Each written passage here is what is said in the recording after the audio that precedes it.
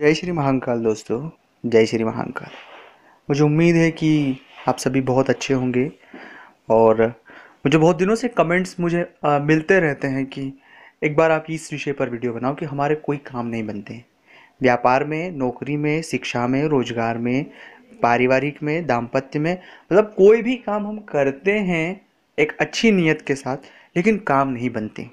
ये कमेंट्स मुझे बहुत ज़्यादा आता है। महिलाएँ ये पूछती कि हम नया स्टार्टअप करते हैं, नई चीज़ें शुरुआत करते हैं, पर हमें उसमें कोई भी सफलता नहीं मिलती है। हम बड़े ईमानदारी के साथ काम करते हैं, पूरी पूरी ताकत लगा के काम करते हैं, लेकिन फिर भी हमें सफलता नहीं मिलती है।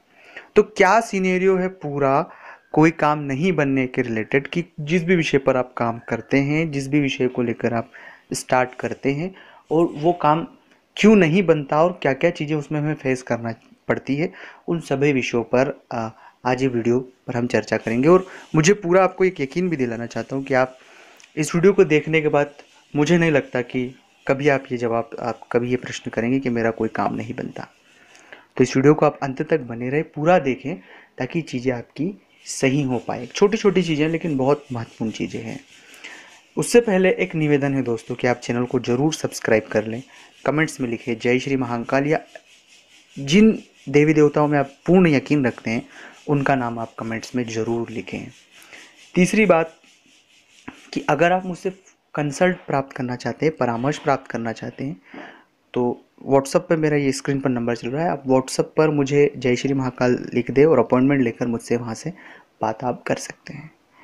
तो ये चीज़ें फॉलो करने के बाद आपको बहुत ज़्यादा अच्छा परिणाम मिलेगा अगर आप मुझसे बात करते हैं तो। तो सबसे पहली बात कह देना चाहता हूँ कि कोई काम नहीं बनने में क्या क्या चीज़ें है वो आते हैं। कई बार हमारे निजी, पारिवारिक, कई बार हमारे शारीरिक, ये कारण उसमें स्वास्थ्य से लेकर रिलेटेड एक चीज़ें होती रहती है। इसलिए मैं हमेशा आप सभी से निवेदन करता हूँ कि एक मानसिक दृढ़ता होना व्यक्ति के लिए बहुत ज़्यादा ज़रूरी है और मानसिक दृढ़ता के लिए आपको शिव चालीसा का पाठ करना चाहिए। वो बहुत ज़्यादा सकारात्मक है। आप शिव चालीसा का पाठ करें कंटिन्यू सुबह करें, शाम करें या अपने आसपास शिव मंदिर हो, वहाँ जाके उसका पाठ करें। देखिए, पूरा वीडियो आप अब ध्यान से देखें, क्योंकि एक एक चीज़ अगर छूट गई तो मुझे नहीं लगता कि फिर हम सही कर पाएँगे। शिव चालीसा जब आप पाठ करेंगे तो जितने हमारे नौ के नौ ग्रह जो डिस्टर्बिंग होते हैं, जो व्यापार में हमें काम नहीं बनने देते हैं या होने नहीं देते हैं तो शिव चालीसा का पाठ करने से वो सभी ग्रह जो है, वो अपना पॉजिटिव प्रभाव नहीं देंगे, लेकिन वो नेगेटिव भी नहीं देंगे।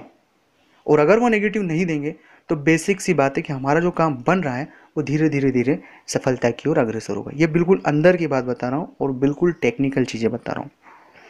दूसरी बात है कि चलिए शिव चालीसा का आप पाठ कर लीजिएगा और उसके बाद आपके मन में ये प्रश्न उठा होगा कि ये तो एक सही बात है। दूसरी बात जो सबसे ज़्यादा महत्वपूर्ण है, वहाँ गुरु मंत्र का सब चीज़ें होती है। देखिए, गुरु जो होते हैं, शुक्र और बृहस्पति दोनों नौ के नौ ग्रहों में गुरु हैं।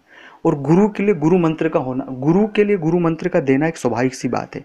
तो हर एक व्यक्ति को अपना गुरु बनाना चाहिए और गुरु मंत्र का जाप करना चाहिए। अगर आप गुरु के सानिध्य में रहेंगे, अर्थात गुरु किसी मानव को बनाने के मैं पक्ष में नहीं बात कर रहा हूँ, आप गुरु किसी भगवान को मान ले, अपने इष्ट को गुरु मान ले, और जो भी उनका नाम हो, जैसे शिव जी का ओम नमः शिवाय, गणपति जी का ओम नमः शिवाय, हनुमान जी का श्री राम है, वो क्योंकि वो राम जी के उपासक हैं।